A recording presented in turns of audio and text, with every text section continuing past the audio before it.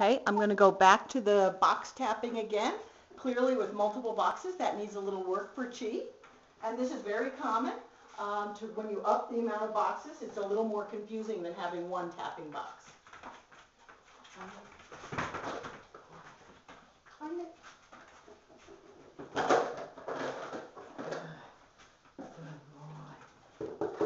Good boy, nice job. Good boy, nice job. Good, So it only takes a couple of sessions for him to get the right idea again, because the only thing I'm paying is for the hot box. The other stuff I'm not paying. So it's very clear to the dog. So now I'm gonna start adding in other distractors.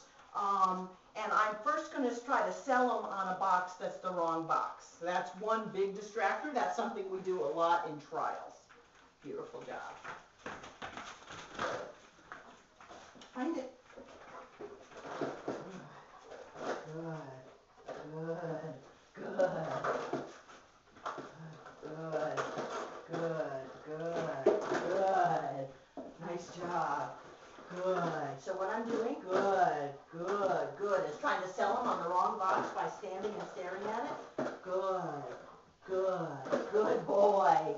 Nice job. So that happens a lot in trial. So good boy, awesome. So now what I'm going to do is start adding some minor distractors. Um, the first thing is a dog lead, a dog collar uh, that's worn by another dog. Um, this is a great distractor. For distractors, all I'm looking for is the dog's interest, but then they go to the hot box. That's all we expect. We do not expect a dog to ignore a distractor. That's impossible. But what we want them to do is say, that's not important. What pays is odor. Nice job.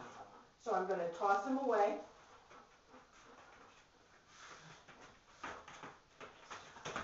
And I'm going to put the distractor right near the hot box. Good, beautiful. Good boy. Nice job. Good. Good. Good. Nice work. Beautiful. Good. Good. Nice job. I'm going to toss him away. I'm going to move the distractor. It's just a collar from another dog. Good boy. Find it.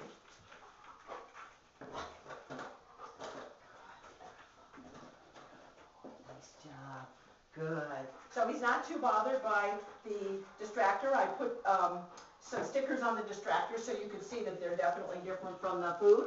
So I'm going to try another distractor. I have to reload. Hold on.